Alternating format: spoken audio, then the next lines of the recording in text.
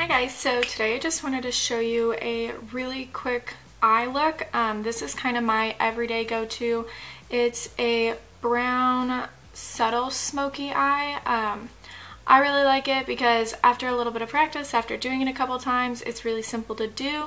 Um, it actually goes really well with everything. It's a very natural look, um, so it's not as fast as my 15 minutes or less look, but um, it's still pretty quick and it's easy to do once you get into the routine of doing it. So um, if you guys want to try it out, just go ahead and follow along and if you have any questions, let me know. Thanks. Okay guys, welcome back to my channel. So today I wanted to focus on an eye makeup look that doesn't focus on the products or colors I'm using. I want this to be something that you can use whatever you might have in your makeup bag or whatever you prefer to purchase from whatever brand. I don't want to focus on that too much. So you can see I've just kind of prepped my eyes with a light shade of skin color.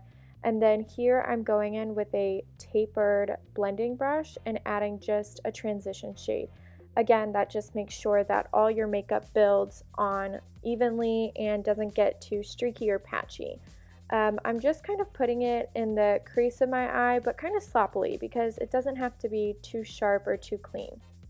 And then I go in with a little bit denser of an eye brush and I add just a little bit darker of a shade. Again, with eyeshadow colors, you always want to build and build and build up to the color. You don't just want to throw on a really dark eyeshadow um, because it's hard to bring it back down and you'll get really harsh lines. So you want to use a couple of different shades to really achieve the smoky look, even if you're, uh, I mean for any look, but even if you're just doing something simple like a brown like I'm doing here, um, you really want to build up to the darker color rather than trying to build back down. So here I'm just adding in a little warmer of a brown on top of that original transition shade and then I go in with a much darker brown here. And so notice how I'm putting it all in the corner of my eye and just lightly bringing it in, um, keeping it on the outer side of your eye.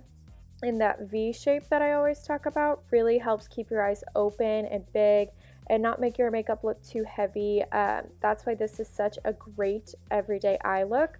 And you can do this with any color. I mean, you could do this with different shades of pink, or you can do this with um, some lavenders or purples or browns, or if you Want to go for a more dramatic smoky eye, you can even do blacks and grays. So this is a really transitional technique that I use. And then I'm just applying that light color right into the center of my eyelid. Um, you don't want to go too far up because you want to keep that dark shade in the crease to give you dimension. And then just a little bit under the brow. And this is really quick and really easy, you guys. It's very similar to a lot of the eye techniques I've shown you in my other videos, but I just wanted you to have something to work off of and something quick and short to watch if you want to practice your eye makeup. Um, so that's why I'm providing you with this video. And then of course it's an everyday look, so I just found a really skinny um, black crayon pencil eyeliner. So I'm just applying that in a very thin line.